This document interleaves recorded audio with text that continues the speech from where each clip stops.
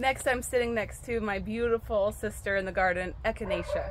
Echinacea purpurea, with its beautiful purple flowers, is a really common um, um, medicinal plant to have in flower gardens, and people don't even know. They don't even know how cool it is.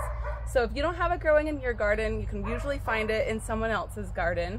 Um, or you can also use Black-Eyed Susan, which is the yellow variety um, of this flower that has the same medicinal properties. If you're looking for it in the nursery, um, you, you, can find it in nurseries. Um, it's really hard to start from seed. Anyways, Echinacea has two great gifts that we're totally going to use in our medicine this weekend. One is it's a great germ fighter, super antibiotic plant. The second is it's an immune an immune system stimulant. So those two gifts kind of come at colds and flus from two different angles, which is part of what makes it so effective. So we're going to harvest the flowers. Hey Joshua, can you pass me those secateurs? Perfect.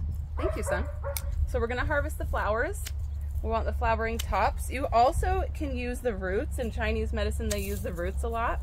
But since it's a, it's a perennial, I find that um, pulling, pulling the plant up by the root makes me really sad. So you can harvest the flowers and that's definitely effective.